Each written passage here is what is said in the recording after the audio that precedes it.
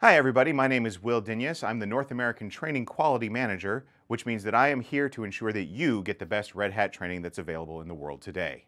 Here in our Java EE development course, you're going to get hands-on with all of the aspects of writing great enterprise application middleware. We're going to be using message-driven beans. A message-driven bean really only has one method that's required, and that's the onMessage method enterprise Java beans. An enterprise Java bean is typically used to encapsulate some business logic in your application. We're going to take a look at context and dependency injection. CDI was introduced as a formal JSR as part of Java EE 6. Originally, it was part of the Red Hat JBoss SEAM package. By the time you complete this course, you're going to be able to write a robust Java EE application that is highly available and highly scalable.